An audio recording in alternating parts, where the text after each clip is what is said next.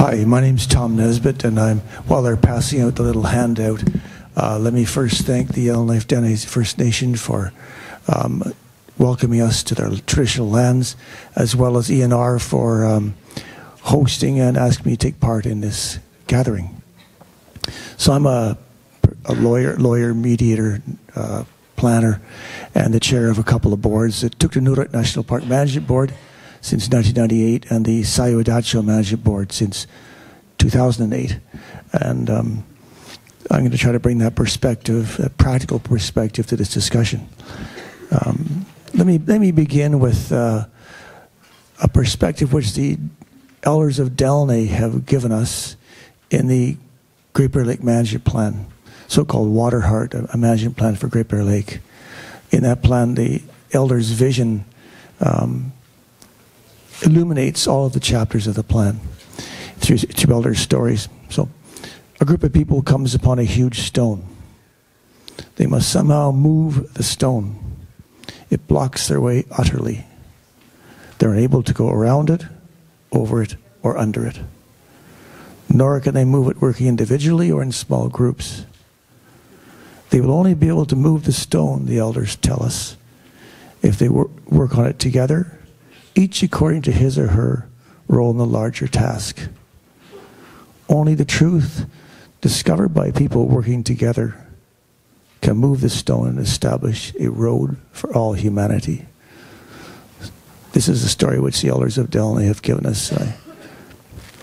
So, my purposes today are to introduce this thing called consensus agreements, what some people call collaborative um, governance and to ask us to think about whether these kind of agreements are applicable elsewhere than, than where they are right now. So what, first of all, is a, is a consensus agreement? By that I mean, it's, it's on the first page there, uh, an agreement or alliance between Indigenous authority and the responsible protected area government authority. They are the parties to these agreements. They agree together to establish and oversee the protected area which is typically a very important part of the indigenous authorities' traditional lands and almost always arises from, in my experience, always from indigenous initiative. They agree to, the, the two parties agree to make decisions by consensus according to agreed or negotiated purposes and the affirmation of Aboriginal or treaty rights.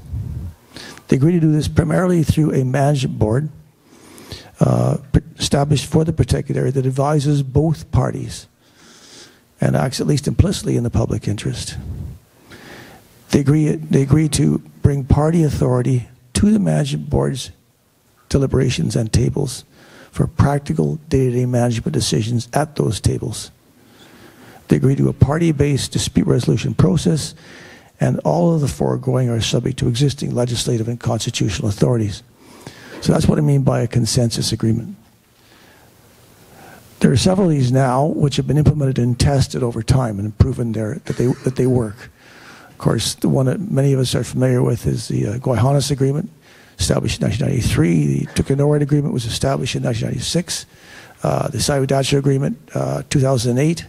And more recently, um, the Edéhzhíe Agreement, which uh, just described, and uh, the Thaidene Nëné Agreement, which um, Steve just described. So I want to suggest that these agreements are an emerging model or, or paradigm of future protected area agreements. All these agreements are unique. They all, they all differ.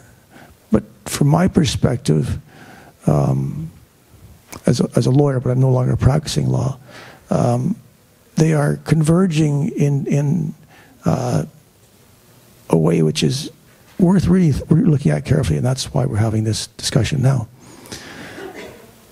so let's look at these agreements um, a little more carefully and more in more detail. Um, the parties are, are an indigenous authority and, and a, a protected area management authority. And they agree to work together to establish and permanently protect a, a place and be together responsible for its management, but subject to existing legislative and constitutional, including Section 35 type authorities. They commit to managing this place by consensus, primarily or initially through a, uh, a, a management board. That consensus runs in three dimensions. First, bo the board works by consensus. Second, at the board's um, uh, tables, the board and party representatives work by consensus.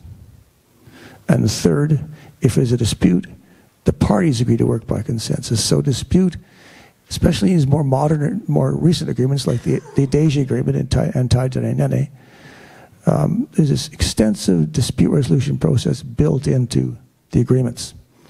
And it's only after exhausting that consensus process that either party may act unilaterally. So this is a, these are really um, alliances which go to equity, a much more equitable relationship between indigenous authorities and, and, and government, fairness, a healthier relationship between those two, those two bodies, and a contribution to rec reconciliation. Those are the underlying purposes of these agreements. So the essential elements I really want to focus on, just stress here, are first, consensus, importing the indigenous tradition of consensus decision making into these areas. Second, a management board. And third, party authority at the table. We often hear, and, and we must, when we draft these agreements, we must say that these boards are advisory. we must say that because otherwise we're opening the entire system to third party challenges that a minister has illegally fettered his or her discretion. But that's only, and, and many people see that, and that's the end of their thinking, I guess.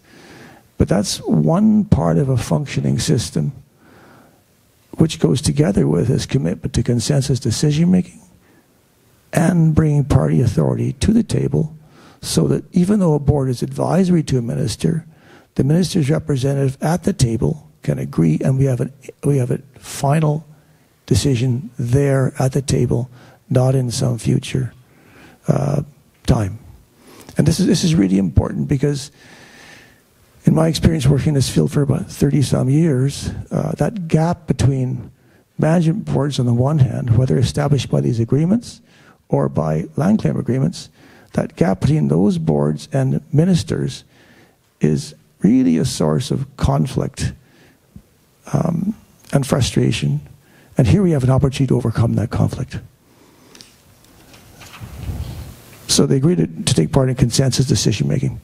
I'm going to talk about consensus as I learned it from Billy Day and Nunavut elder and the elders in Délı̨nę.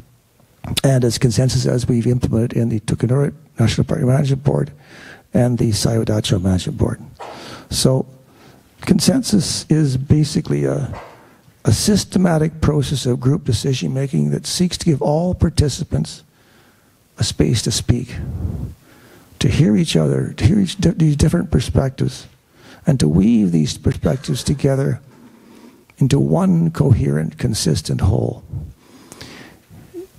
It has a slower cadence. It's like a piece of, a slower piece of music, a more reflective piece of music. Where parties agree to find consistency, to reconcile these different perspectives. Reconcile means make consistent or find the conditions under which things can be made consistent. So in, these, in this consensus process, we're involved in trying to find the conditions under which these different perspectives come to the table can be made consistent with each other. It's not a vague majority decides type of thing. Let me, let me illustrate over here. Um, I want to contrast two things a realm of reflect, reaction and a realm of reflection. We all hear things we react immediately. We say things, we do things, which we often later regret. People who research our, our, our brain tell me that um, this, we, we hear something and we react. The amygdala, the ancient part of our brain, reacts in six milliseconds, six one thousandths of a second. And it can short circuit the rest of the other more, the more creative, uh, analytical, um, reflective parts of our brain because it acts so fast. So in consensus, this process given to us uh, very generously by the elders of NWT and Nunavut. In consensus, we have a chance to pause, to slow it down, and to reflect. In consensus, we create this red thing is, is a space for reflection, a space for people to work together in a, in a, in a respective, respectful uh, way. So typically, it's a systematic process, but it isn't like cookie cutters, but there are different, again, this is like a piece of music with different parts to it. Um, and this piece of music has several elements to it.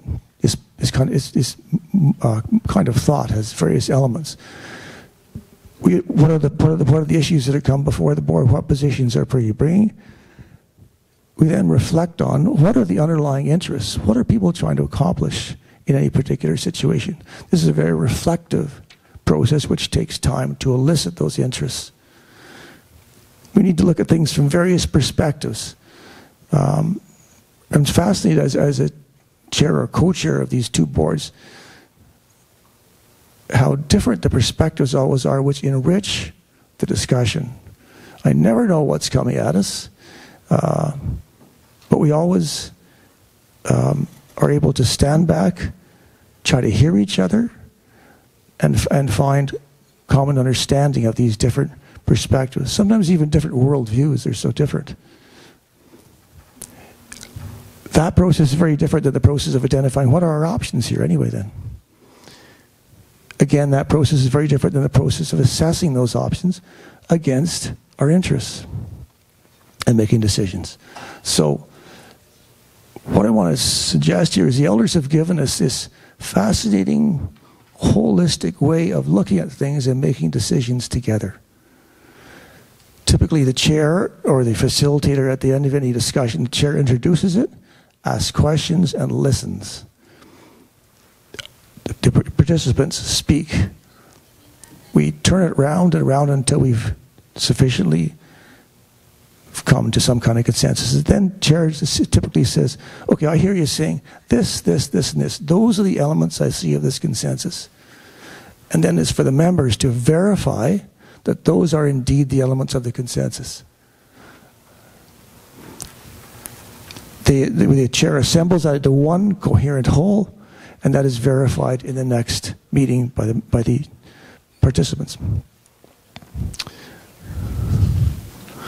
So I want to just make a couple of things about these different perspectives that come to the table. We sometimes create mental partitions. We have to overcome those partitions.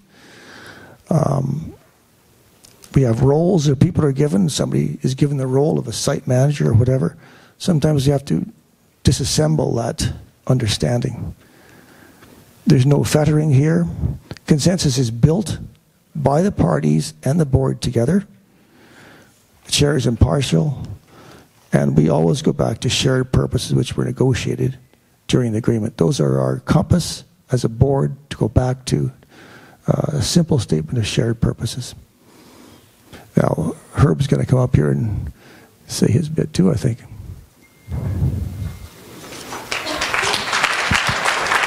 Great.